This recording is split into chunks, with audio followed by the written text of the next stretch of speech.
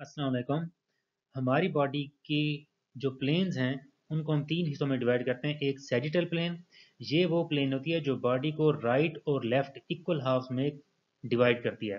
तो इसको आम जबान में कहता हूँ सज्जे और खब्बे, ऐसे राइट सजा मतलब जो हमारी बॉडी को राइट और लेफ़्ट हिस्सों में डिवाइड करे, उसको कहते हैं सेजिटल प्लेन और वो प्लेन जो हमारी बॉडी को सुपीरियर और इन्फीरियर इक्वल हाफ़ में डिवाइड करे, उसको हम कहते हैं ट्रांसवर्स प्लेन अक्सर हम चीज़ों का ट्रांसफ़र सेक्शन भी लेते होते हैं।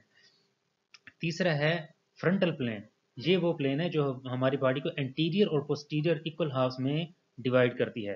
तो इसलिए आपने ये बातें याद रखनी है कि हमारी बॉडी की तीन प्लेन्स हैं और वो हमारी बॉडी के पार्ट्स को, क्योंकि जब हमने ऑर्गन के सेक्शंस लेने होते हैं तो उसको समझने के लिए ये ज़रूरी है। इसलिए आपने इसको अच्छी तरह समझना है।